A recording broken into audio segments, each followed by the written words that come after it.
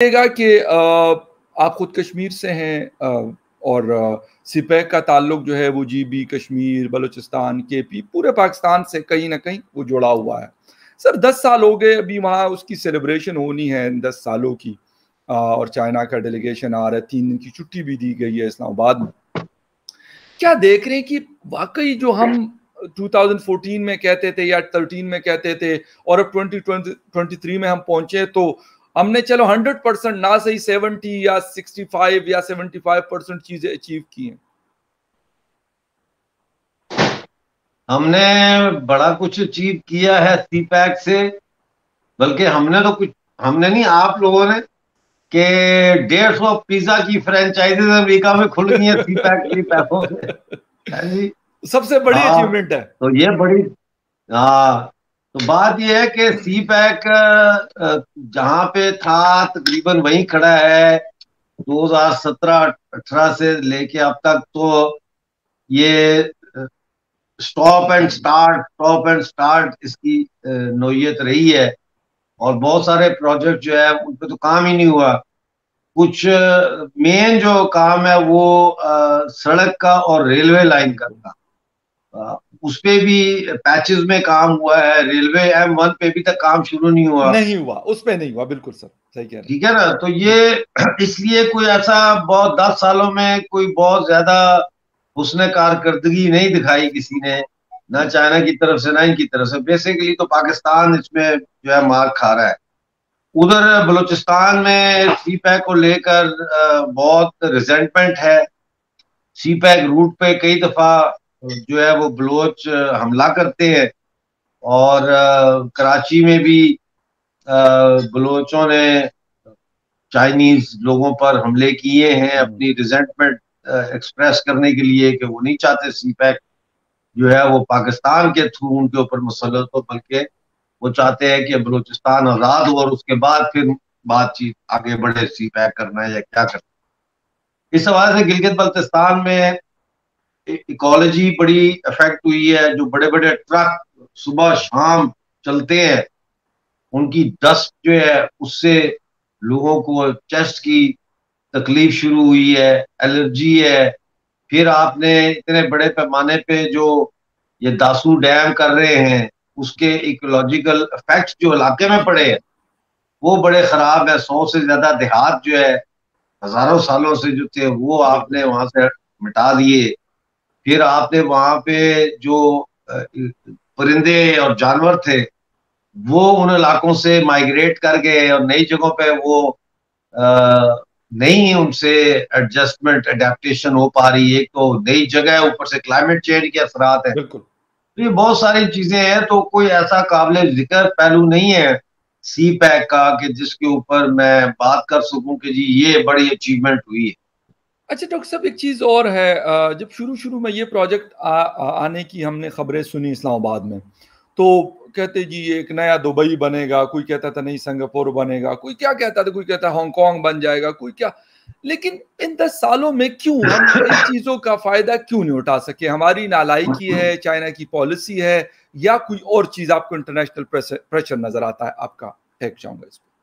देखिए इसमें दो चीज़ें हैं ना। एक तो आपने पाकिस्तान में कौमी सवाल को एड्रेस ही नहीं किया। हाल तो बाद में होगा ना पहले एड्रेस तो करें। तो बलोचों के साथ आपका कोई कौमी सवाल पर कोई डिस्कशन नहीं है। कोई उनकी अटोनमी कितनी होनी चाहिए खुद मुख्तारी या जो। भी है उस पर आपने उनको नहीं लिया ऑन बोर्ड नहीं लिया। अब दूसरा जो है वो यही सूरत गिलगित बल्तिस्तान की है एक मुतनाज़ा इलाका है। चाहे आप प्रो इंडियन है या प्रो पाकिस्तानी है इसका कोई लेना देना नहीं है। जी बिल्कुल सही। बात यह है कि ये एक मुतनाज़ा इलाका है। आप कैसे एक मुतनाज़ा इलाके में सी पैक के सड़कें गुजार सकते हैं प्रोजेक्ट चला सकते हैं? तो ज़ाहिर है जिससे आपका तनाजा है वो तो सवाल उठाएगा इस मसले के ऊपर जिस जो इंडिया है। इंडिया तो लेके जाएगा इसको इंटरनेशनल फोरम्स पे कि भाई ये क्या कर रहे हैं? या इनको तो पास तो पावर ही नहीं है कि ये करे। तो वो एक तरह से पूरा सी पैक का प्रोजेक्ट हम्म। इन गिलगित बल्तिस्तान इंडिया और बलोचों को ऑन बोर्ड ना लेने की वजह से भी उस उसमें बहुत रुकावटें हैं। और फिर पाकिस्तान के अंदर जो है देखिए ना ये पता ही नहीं है कि पाकिस्तान का चीफ एग्जेक्टिव कौन है। असल में हकीकी चीफ चीफ एग्जेक्टिव कौन है? तो वो आर्मी चीफ है या प्राइम मिनिस्टर है या प्रेसिडेंट है या अपोजिशन पार्टियाँ हैं कौन है? किससे बात कर? ये एक अलहदा मसला है। फिर अभी तक ये फैसला नहीं हुआ कि सी पैक जो है इसके प्रोजेक्ट जो है कॉन्ट्रैक्ट जो है ये एफ़ डब्ल्यू ओ करेगी यानी फ्रंटियर ऑर्गेनाइजेशन करेगी या इसको प्राइवेट टेंडर के तौर पर टेंडर रिलीज़ किया जाएगा अखबारों में और प्राइवेट सेक्टर से जो है वो आ, आ, भी इनवाइट किया जाएगा लोगों को। तो आर्मी का कंट्रोल है। तो वो ये सारी एम्बिग्विटीज जो है ये इसके रास्ते में रुकावट है सी पैक के रास्ते में। जी। अच्छा डॉक्टर साहब एक चीज़ अगर आप क्योंकि पाकिस्तान में भी आपने काफ़ी टाइम गुजारा है अब एक और कंट्री में है। अगर इस तरह का प्रोजेक्ट लेट सपोज़ मैं कहता तो पाकिस्तान की जगह किसी और एक्स वाई जेड कंट्री में होता मैं कहता अफ़गानिस्तान में होता मैं चले अमेरिका और उनकी उन कंट्रीज़ की बात नहीं करता मैं कहता हूँ बांग्लादेश में होता या नेपाल या किसी और कंट्री साउथ एशिया के किसी मुल्क में होता या फिर हिंदुस्तान में होता तो उसका यही हाल होता जो यहाँ पर है या फ़र्क होता।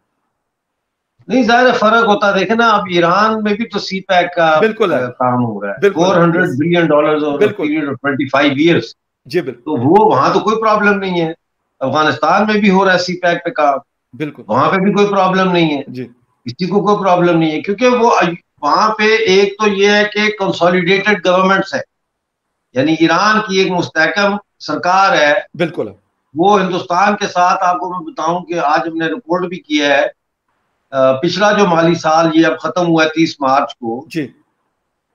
तो 47 परसेंट इंक्रीज हुई है ट्रेड वॉल्यूम में बिटवीन इंडिया एंड ईरान तो वो तो अपना मुल्क काम कर रहा है इंडिया के साथ मिलके भी पाकिस्तान चाइना हर चीज़ के साथ।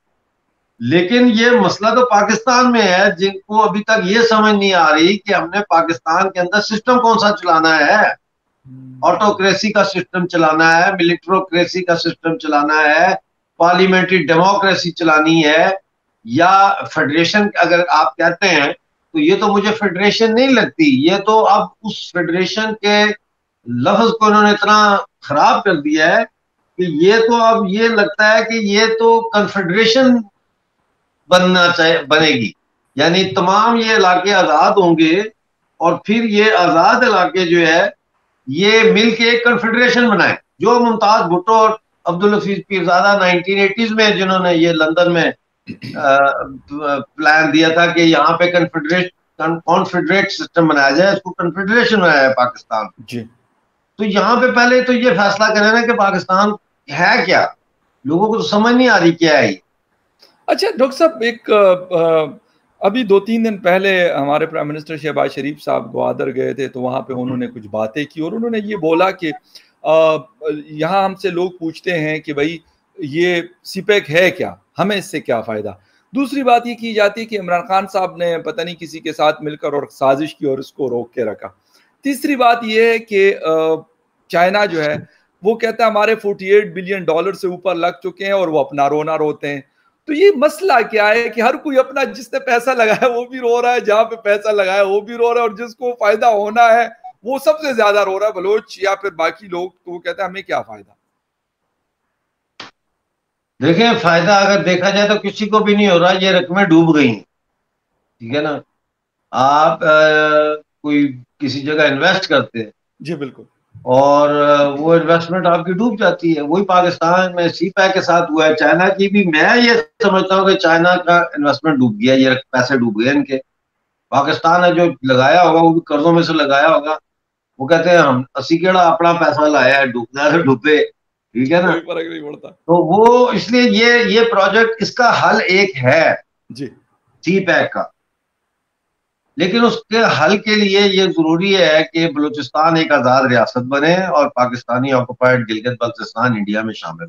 जी। और फिर इंडिया और चाइना दोनों मिल के सी पैक के ऊपर मुआदा करें कि सी पैक को as a trade route towards Mediterranean या यूरोप या मिडल ईस्ट इंडिया और चाइना दोनों इस्तेमाल करें। और बलोच जो गवर्नमेंट है उसके साथ फिर मुआदा हो आ, इंडिया का और चाइना का कि वो राहदारी का क्या उनको देंगे और उनको क्या बेनिफिट होगा और इस तरीके से इसका ये एक हल है। और चाइनीज़ भी ये समझते हैं मेरे ख्याल में कि उनको बिल आखिर बलोच जो है उनसे बात खुद करनी पड़ेगी। और मैं सरप्राइज़ नहीं होगा अगर कल को चाइना टर्न अराउंड करे और कहे कि हम बलूचिस्तान को आज़ाद रियासत बनाने के हक में है। ओपनली ना भी कहे तो पीछे से उनको मदद करे और सपोर्ट करे उनके साथ आ, आ, जो अंडर द टेबल या ऑफ़ रिकॉर्ड डील्स करके बलूचिस्तान को पाकिस्तान से अलहदा कर दे। लेकिन उसका फ़ायदा उस वक्त होगा जब चाइना इस बात पे भी एग्री करेगा कि गिलगित बल्तिस्तान जो है वो इंडिया में शामिल किया जाए। वो कैसे होगा? हो सकता है कुछ ले कुछ दे की बेसिस पे हो। हम्म। इंडिया के साथ ये बात करें कि जी आप जो बॉर्डर है चाइना इंडिया का बॉर्डर है वहाँ के जो अब दो फ्लैश पॉइंट रह गए हैं पाँच तो फौजें हट गई हैं। उनमें से कोई एडजस्टमेंट वहाँ पे ये लैंड की कर लें आपस में।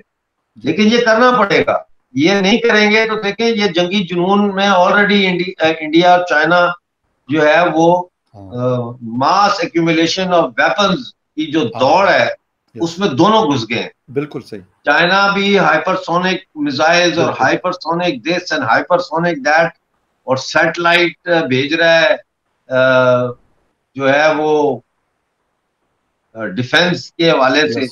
इंडिया ने अमेरिका से 80 बिलियन डॉलर का खरीदा है फ्रांस से खरीदते हैं। बिल्कुल। तो वो पैसा जो अवाम की तरक्की पे लगना चाहिए।